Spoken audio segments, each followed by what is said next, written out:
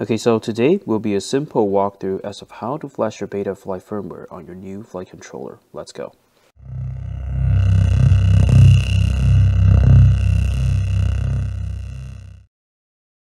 Okay, so to flash the Betaflight firmware, we're going to come to our computer and you're going to plug in your flight controller as usual with a USB to your computer. And once it's connected to your computer, we are going to go to Betaflight. And you are just going to hit connect.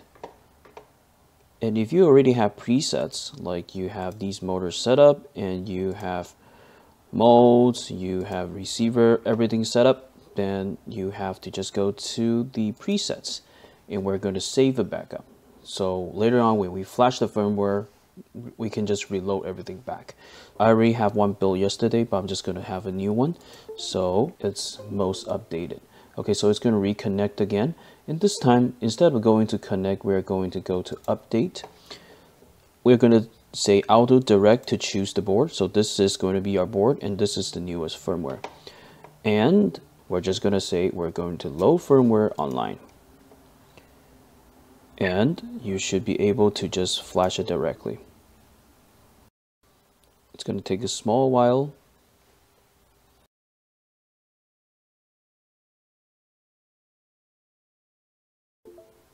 Okay, so once the flash is showing successful, we are just going to come back here and we're going to hit connect again. Generally, if you are flashing it the first time, you should see a message to ask you if you wanted to apply custom defaults and you're going to say yes. And we're just going to come here and we're going to load our preset. So load backup. And we want to pick the one that is most updated. This is for today. So we're just going to hit open. Once it's reconnect, hit, hit connect.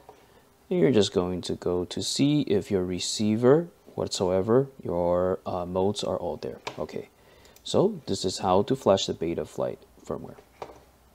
Okay, so I guess this wraps us up this video today. And if you have additional questions, please leave it at the comment section or you can just simply email me. And if you like the content and wanted to see more in the future, please subscribe to stay tuned. I will see you next time. Bye bye.